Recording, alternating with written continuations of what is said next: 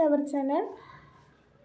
இந்த வீடியோவில் நம்ம பார்க்க போகிறது சாரியோட முந்தானை எப்படி கரெக்டாக கட் பண்ணலான்னு சொல்லி பார்க்க போகிறோம் அதேமாரி பால் செடி சாரிக்கு வச்சு தைக்கலாம்னு சொல்லி பார்க்க போகிறோம் வீடியோக்குள்ளே போக முன்னாடி நம்முடைய சேனலை சப்ஸ்கிரைப் பண்ணாதவங்க பண்ணிக்கோங்க. அப்படியே பக்கத்தில் இருக்க பெல் கிளிக் பண்ணிக்கோங்க.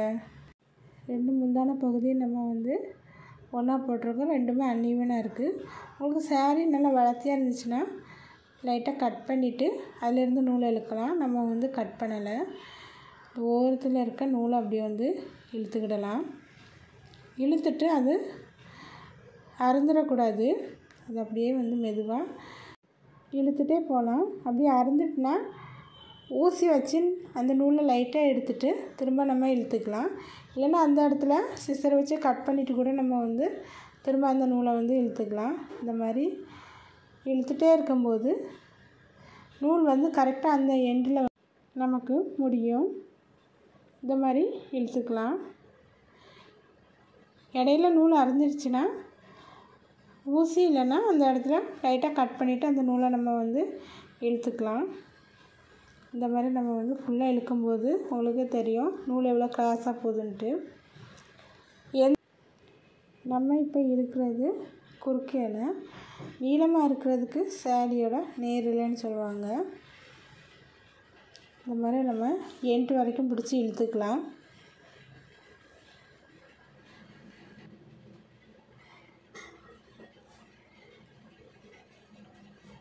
இப்போ நூலை உருவின இடத்துல வந்து நமக்கு இந்த மாதிரி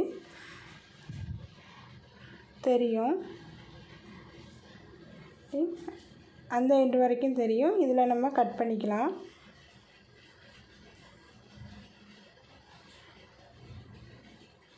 இதே மாதிரி ரெண்டு பக்கமும் நம்ம வந்து நூலை இழுத்து பார்த்துட்டு ஸ்ட்ரெயிட்டாக நம்ம வந்து முந்தானையை கட் பண்ணிக்கலாம்.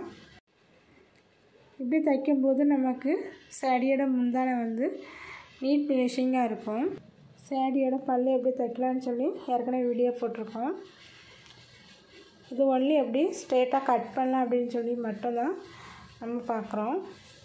பாருங்கள் ஸ்ட்ரெயிட்டாக நமக்கு கட் ஆகிருக்கு இப்போ இதில் வந்து ஃபால்ஸ் தைக்க போகிறோம். ஃபால்ஸ் தைக்கிறதுக்காக சேரீயோட உள்பக்கமாக கீழ்ப்பக்கம் எடுத்திருக்கோம். கீழ்ப்பக்கத்தில் இந்த ஓரத்தில் இருந்து பத்து இன்ச் நம்ம வந்து மார்க் பண்ணிக்கலாம். சாரியோட ஃபால்ஸை வந்து இப்படி ரெண்டு பக்கமும் உள்பக்கமாக மடித்து ஸ்ட்ரெயிட்டாக வந்து தைச்சி விட்டுடலாம். இந்த ஓரத்தில் வச்சு நம்ம வந்து தைக்கணும்.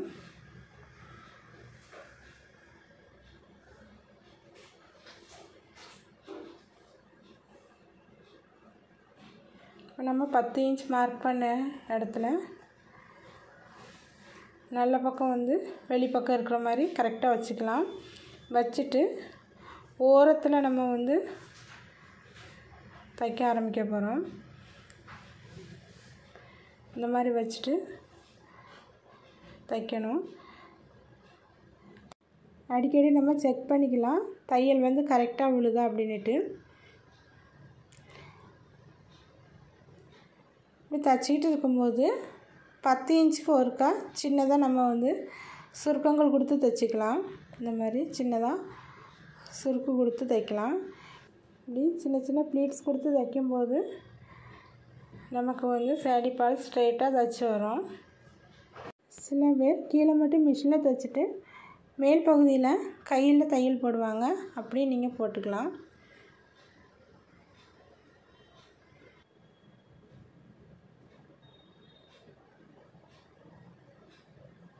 கீழ்ப்பகுதியில் ஃபுல்லாக தைச்சாச்சு. இப்போ ஊசியை நிறுத்திட்டு விட்டு மேலே தூக்கிட்டு அப்படியே ஸ்ட்ரெயிட்டாக நம்ம வந்து தைச்சி விட்டுடலாம். மேலே வரும்போது ஊசியை நிறுத்தி விட்டு மேலே தூக்கிட்டு அப்படி நம்ம வந்து சரியாக திருப்பிட்டு கையால் நல்லா நீவி விட்டுடலாம். நீவி விட்டுட்டு அப்படியே நம்ம வந்து ஸ்ட்ரெயிட்டாக தையல் போட்டு விட போகிறோம் கீழே வந்து சின்ன சின்ன சுருக்கம் வச்சோம்.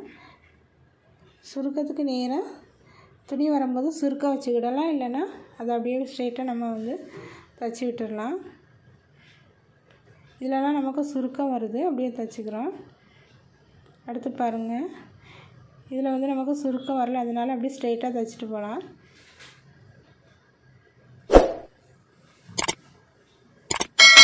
தைக்கும்போது நமக்கு வந்து கோணல் ஆகாமல் ஸ்ட்ரெயிட்டாக வரும்.